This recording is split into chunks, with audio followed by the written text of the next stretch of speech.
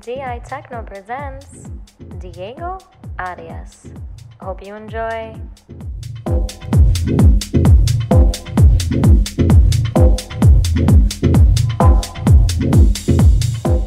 Hola, hola, what's good? This is Melissa DeVitri, the founder of DI Techno, coming at you again this week with New Music Wednesday, episode 19. This time we're featuring a producer that goes by Diego Arias. He's originally from Colombia, but he's currently living in Ibiza, and we could not be more excited to have his sounds on the agency his tunes are some of my favorite beats in the world, and it only complements us as an agency to have him on deck. So sit back, relax, and enjoy the beats. Cheers.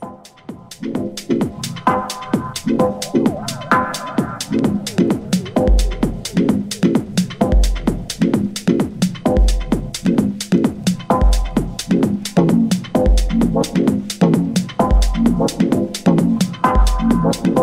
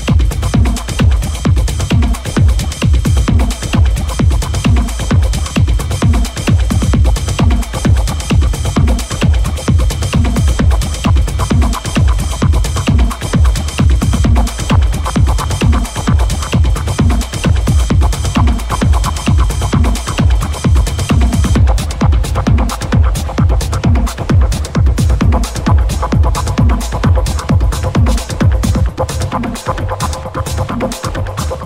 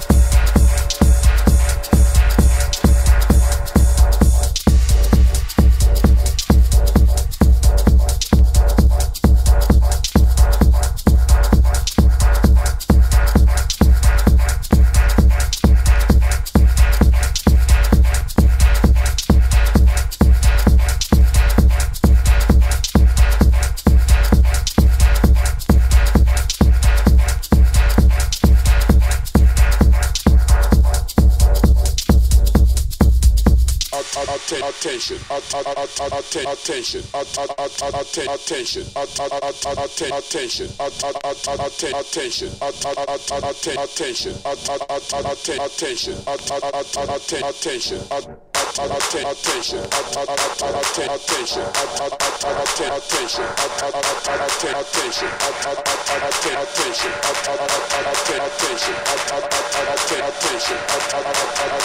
attention.